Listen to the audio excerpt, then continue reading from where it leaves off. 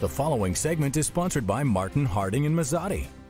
With the presidential election around the corner, President Trump and his campaign are now dealing with another issue.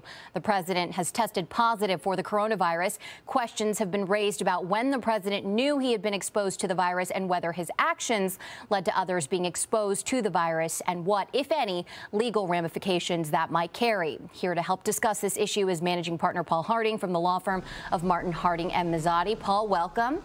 Good to be here. Thanks for being here with us. So, obviously, uh, a hot topic right now. Generally speaking, though, is there any sort of recourse for knowingly exposing someone to infection or disease in New York? So New York, in fact, does have a statute right on point. And it came about back in the day when the HIV was this sort of unknown, unpredictable disease. And therefore, if you knowingly expose someone to that, there is a criminal penalty. Now, does this apply to the coronavirus? It does not. And there's some uh, statutory work being done down in Albany trying to figure out, hey, can we make this a law? And they're really struggling with it. I don't think they're going to come up with something. I don't think they're going to add it to the list. It'd be one of those laws that I think would not pass constitutional scrutiny because it would be vague. It would be difficult to prove where someone got the virus.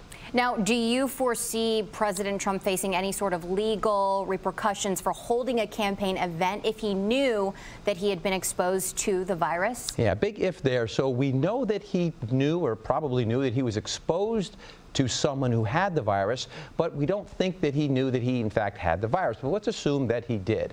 Um, you're in a situation where the president has a tremendous amount of, of immunity, not only to criminal prosecution, but to civil liability. So do I think anything's going to come of this? I don't. I think it's going to be one of these things talked about. Hopefully, continue to be responsible, maybe more responsible uh, as these things take place.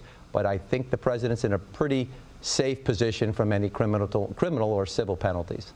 All right, Paul, thanks so much for weighing in. We, of course, appreciate your time. And you can find all of your, our What Are Your Rights topics on our website, cbs6albany.com.